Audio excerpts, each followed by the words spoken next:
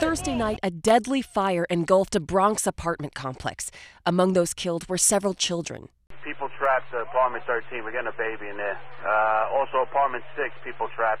Last I heard was my mom text my sister that they were trapped in the room. Fire officials said Friday morning that flames started in a first floor unit where a three year old boy was playing with burners on a stove.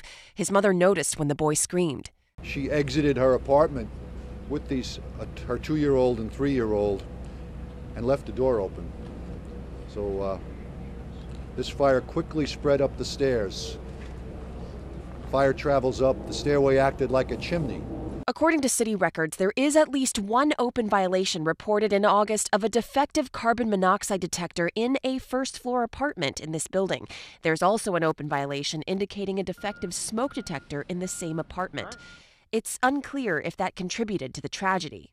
The owner of the building could not be reached for comment. This is an older building. I believe it's over 100 years old, uh, but it's still they're liable to make sure the basic safety elements are in place. But we should not speculate yet. It is uh, the time of year where people celebrate, and certainly here we have people who've lost their lives, lost their homes, lost their, uh, lost everything, and we we grieve with them uh, as everyone in this city should and does uh, at this terrible time.